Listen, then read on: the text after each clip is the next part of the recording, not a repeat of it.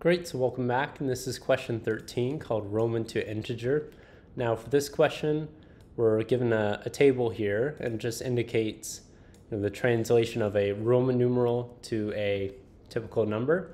And so, oh, and so that's exactly what we're going to be doing with this question where we're given a string as our input and that'll be a string of Roman numerals and we want to output here an integer value which you know is the numerical translation of that string.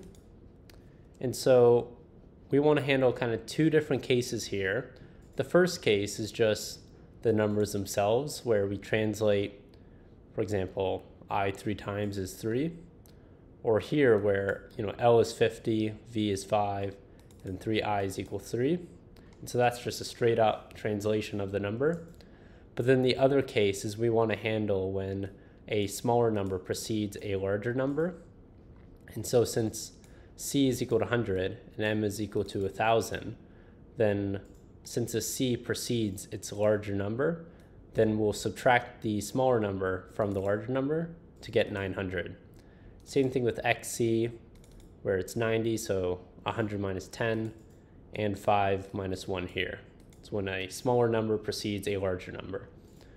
But in this case, since m is larger than c, we just take the straight up value of m, which is 1,000, which you know is identical to all these cases. So L is greater than V, V is greater than I, and then these are all equal to each other, so you just take out their straight up values.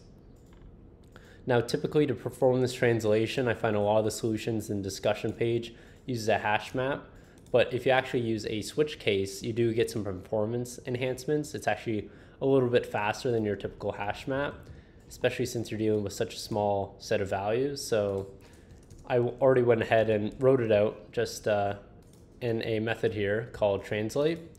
And we're just keeping it private since we're simply using it in this method here.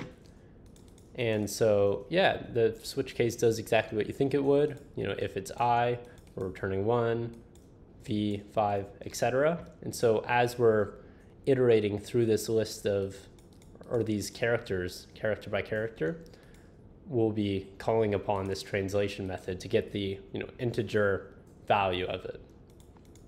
So we'll go ahead and write a variable called sum, which we'll be returning at the end of our method. And so this will be, you know, incrementing each iteration with the translated value. And so we'll also want to actually add a value representing the current number that we're looking at or the current Roman numeral.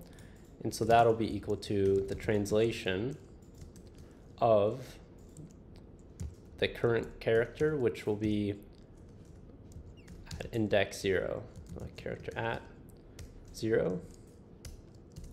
And so next we'll be iterating through that list of, or that uh, string there, character by character. So we'll put i equal to 1 since we already looked at the first value. And then we'll be doing i plus plus since we're iterating by 1 each loop. And then finally, we just want to do this while i is less than the length of the string. And so now we'll also want to add the next value that we're looking at. And so that will be the same thing here, except we'll be looking at the character at i. Okay, so this will be used so we can compare the current value that we're looking at and the, and the falling value to see is the current value greater than the value that comes after it.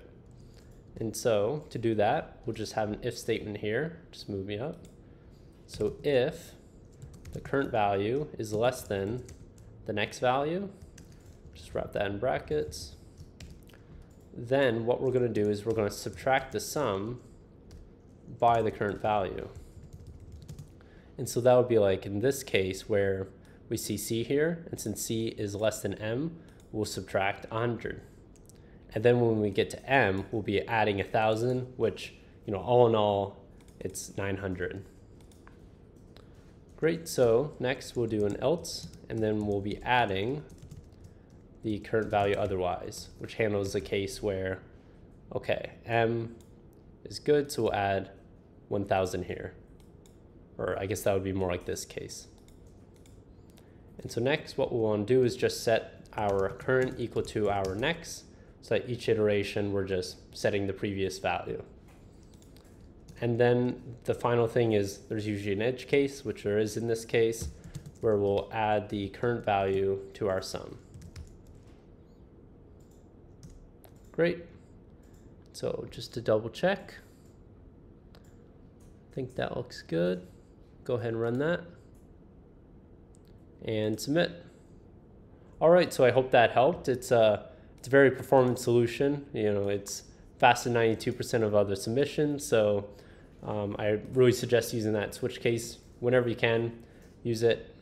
And uh, yeah, so some, some of this logic is a little finicky, like this edge case here of adding the current at the very end.